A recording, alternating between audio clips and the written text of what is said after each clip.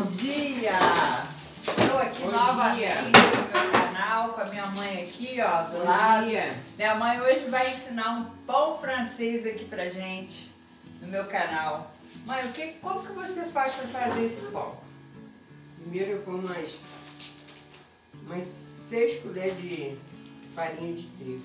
Ó, gente, 6 colheres de farinha de trigo. Primeiro passo.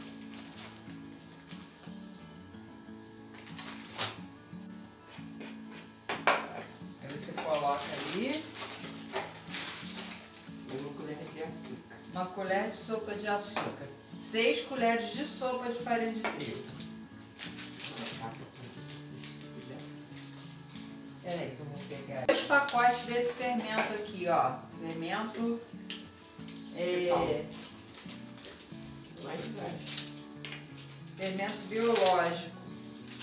Dois pacotes de fermento biológico de 10 gramas. Uma colher de sal. A gente, no caso aqui, a gente usa sal rosa. Não pode ser qualquer sal. Uma colher de. Sobre Che- so- sobremesa, essa colher? Uma colher de sobremesa de, de sal rosa. Colher de sopa de banha, gente, ó, banha. Duas colheres de sopa de azeite. Gente, lembrando que essa é, é- essa é azeite extra virgem, tá, gente? Está usando também três colheres de sopa de óleo de coco. Em vez de usar banho ou azeite, pode estar usando o óleo de coco, tá, gente? 3 colheres de azeite. Tá? Então, então, então são três não, são quatro colheres de óleo de coco, porque aqui no caso ela está usando três de azeite e uma de banho. Aí você vai misturando ali. É 150 ml de água. Eu já ia colocar 150 de ml de água. Gelada. Gelada. Tem que ser gelada, hein, gente? Senão não.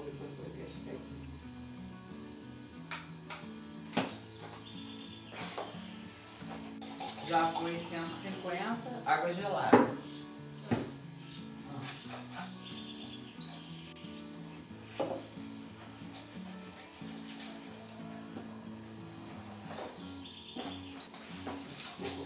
Você vai colocando farinha aos pouquinhos, ó. Não vai usar um quilo, eu acho que não vai usar um quilo não. Aí você vai colocando até a massa dar o ponto da massa. Vai colocando e vai mexendo.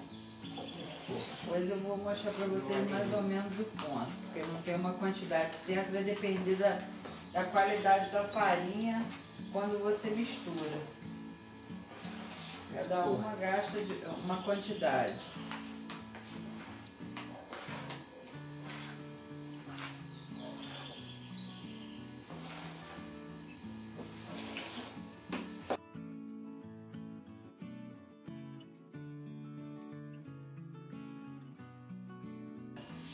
A sova com a mão, tá? Esse pão tem que sovar. Você vai sovando até desgrudar da mão. Quanto tempo mais ou menos você fica sovando? Uns, uns 20 minutos. Na hora assim você percebe que quando você vai gastar, quando estiver grudando na mão, você vai ter que ir botando farinha. Se eu falar a quantidade certa, vocês não vão conseguir fazer, depois vai querer puxar minha orelha. Aí não dá. Minha mãe. É verdade. Então vocês vão ter que testar aí mesmo, né?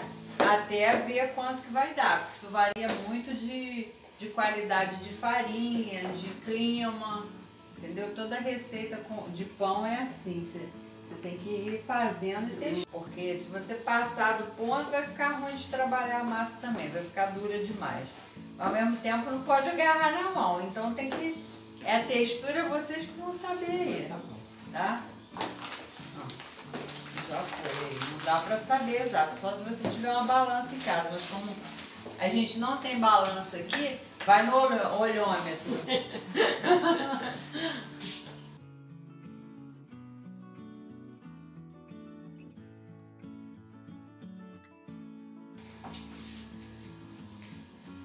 E aí você vai sovando. Vamos ver, Uns 20 minutos sovando. Quer que eu sove um pouquinho? Pra ajudar? Isso. Ó. Eu tô na mesa, se quiser. É? Ó, gente, a mesa tá limpinha, tá? Ó. Você vai virando ela. Eu acho que vai precisar um pouquinho de farinha. Só salpica na mesa. Na mesa.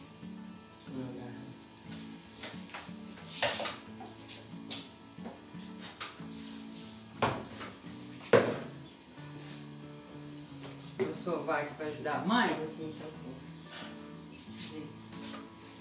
Então, Toma um bocadinho de sal. Ó, mãe vai botar um pouquinho mais de sal, né? Pra garrafa.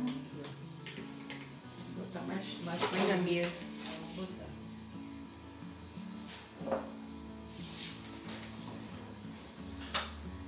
Vou ajudar aqui na sova.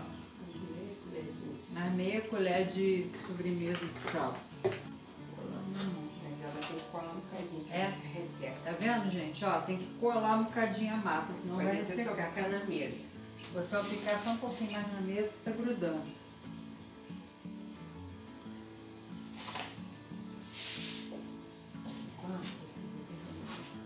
Escurecer e ficar, ficar ressecado. Ó. Aí você vai fazendo assim, Vamos pôr aqui Ó. depois. Bom Ó. vazia pra te esquentar rápido no sol. essa, essa massa tem, tem um segredinho que a mãe usa aqui, é pra ele ficar fofinho, bonito, igual lá, igual eu postei outro dia lá no Face, pra mostrar pra vocês. Lembrando que essa receita, gente, vai pro meu canal e vai pra minha página no Facebook. Minha página lá é a página da Kátia Winter Brandão.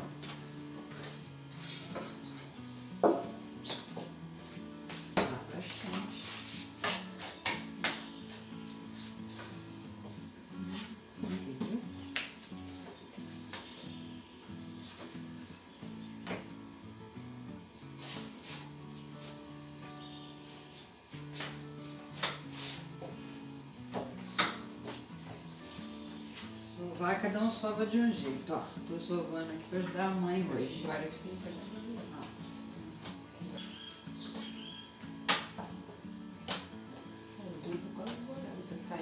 É uma ginástica, ó.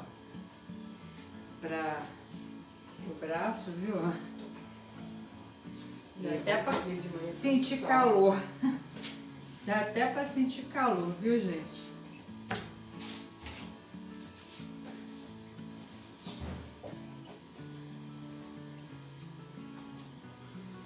Tem esse negócio de marca de farinha de trigo, não, gente. Pode ser a marca também lá, tá? É pra todo mundo conseguir fazer. Ah, e quem não puder também fazer com óleo de coco ou com banho e azeite, pode estar fazendo com, com óleo de soja mesmo, gente. Não, é, não, mas aí, Sal. entendeu? Acesso, mãe. Às vezes a pessoa não tem dinheiro para comprar, né? Aí se não tiver dinheiro, pode usar é, quatro colheres de sopa de óleo de soja também, tá? Ou óleo de milho. Ah, mas entendeu? Porque, porque tem gente que não tem. tiver, né? É o que tiver em casa. É o óleo que tiver. Entendeu? Essa, a intenção dessa receita é ajudar não só a pessoa a ficar em casa, né? Não ir lá, não ter que comprar pão, ter que ir na rua, mas também ajudar na economia, né? Porque às vezes a pessoa, né, assim, não tem condição de comprar o outro material, mas tem um óleo em casa, dá pra usar também. A intenção é ajudar todo mundo. Fica. Aí, ó. Olha que massa bonita, esfrega, gente, ó. Quanto mais você sova, vai ficando lisinho. ó.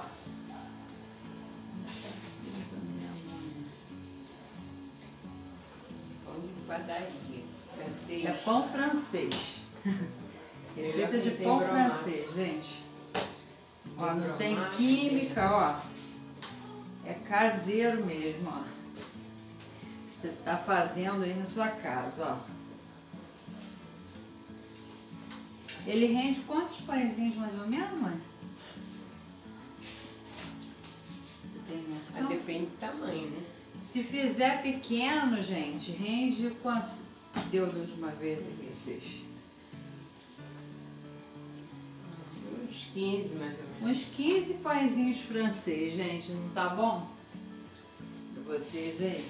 Se é menor, dá mais. Deu? Depois eu mostro o tamanho mais ou menos que ela vai fazer aqui. Gente filma fazendo. É, Né? Tem que abrir, enrolar.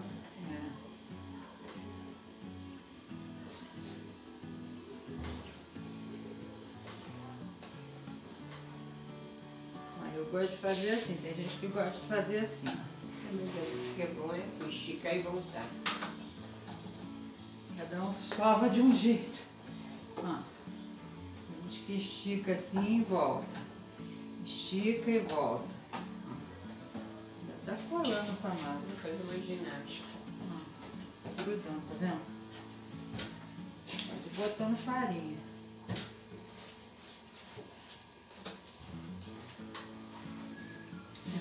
Você salva, ela, ela vai chegando no ponto. Ó. Ó. Não sova de um jeito, mas é Tem 10 minutos. pode sovar assim também. Você já salvou pro cara, não tem 10 minutos. Eu sei.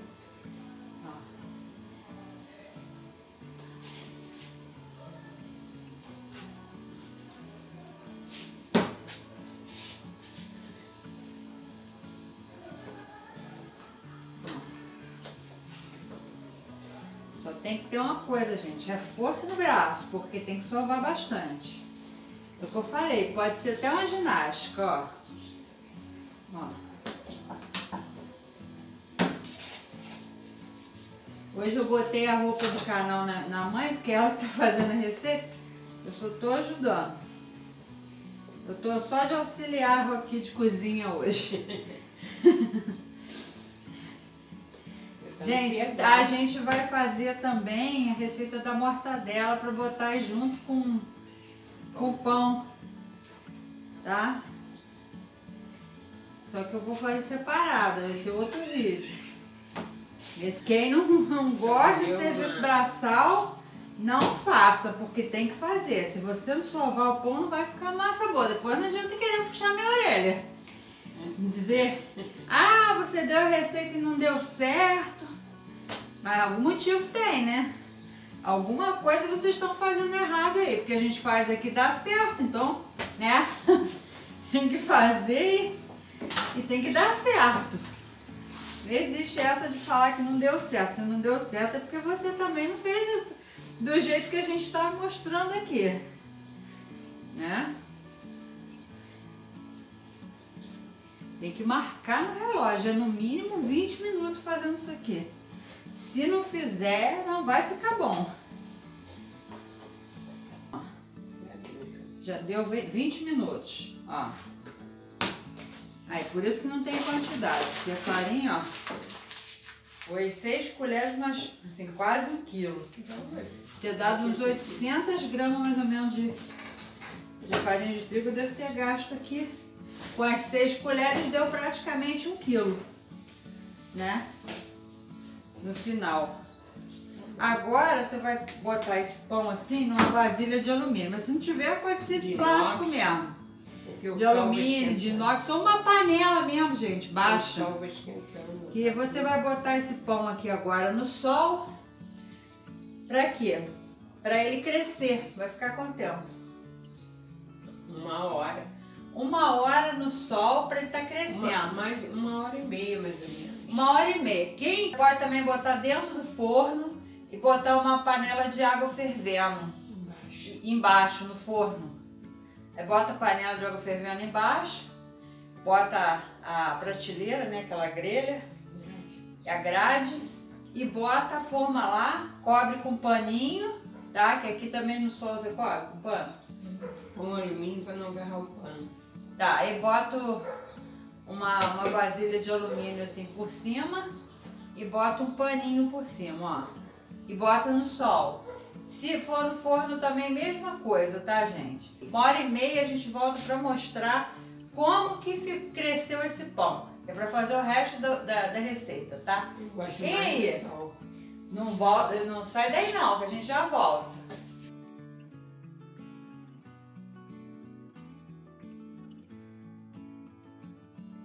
Vai cortando assim, ó. Tá vendo, gente? Ela vai cortando a massa, ó. Você usa rolo? Ela vai cortando a massa. Aqui o tabuleiro tá untado. Pode ser com óleo, com manteiga, o que for aí. Aí ela vai fazendo o que, ó? Ela tem um rolo dela aqui, ó, que é um cano de PVC, tá? Ela improvisou aqui que não tem rolo, a gente inventa a moda. Então tem jeito de fazer tudo. Não precisa se apertar se tiver pau de macarrão aí, que pau de macarrão é aquele rolo de, Rolo de macarrão. de macarrão.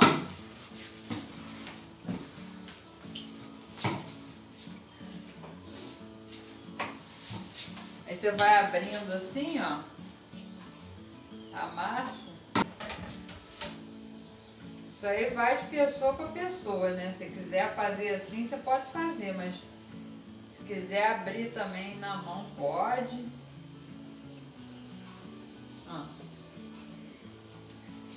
Agora uma coisa que eu. Ah, ainda enrola ali, ó. Eu nem faço isso tudo não. Aí dá um cortezinho em cima, ó. Ó, viu? É, geralmente aquela parte de baixo da emenda, da emenda fica para baixo. Isso E aí dá um corte. Deixa pra baixo mesmo pra não abrir. Pra não abrir o pão quando ele crescer, porque ele vai crescer mais um pouco ali ainda. Massa que a, que a mãe ensinou re- rendeu duas, quatro, seis, oito, dez, onze pãezinhos. Mas aí depende do tamanho que vocês fizerem aí, né?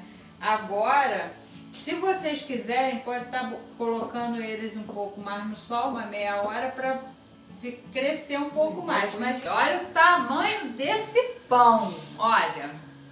A gente Tá tem que provar, né? Tem que provar.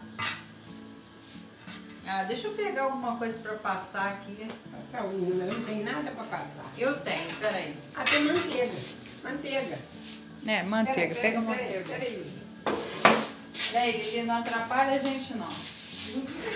Vamos pegar um bem, um bem, um pão bem bonito aqui pra gente provar, ó.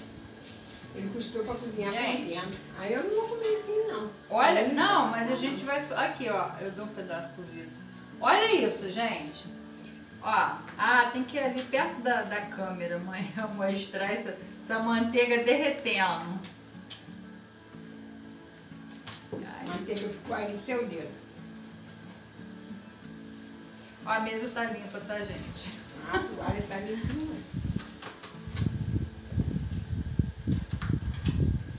Ó, o seu pão Esse pão até francês. puro come. É. Porque ele é muito gostoso. Não, eu sei, puro. mas tem gente que prefere comer com alguma coisa Não, pra eu ficar seco. manteiga porque eu gosto de Olha, olha isso, gente, ó. Olha isso, ó. Derretendo, gente. Olha lá. Ó.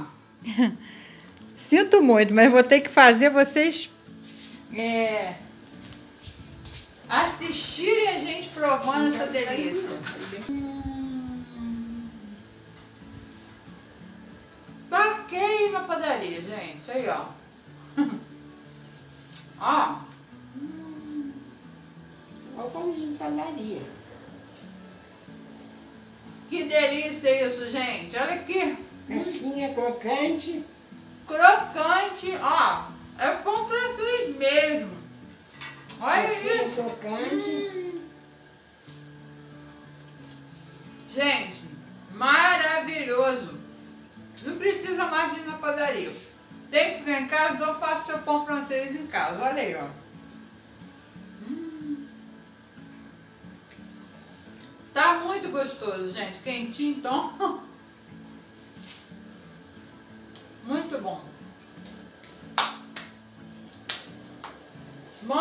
obrigada pela contribuição da, da receita. Eu tô falando de boca cheia. O próximo vídeo que a gente vai gravar vai ser mortadela de frango. E de vez em quando a gente vem ensinar aqui, né mãe? Algumas outras receitas.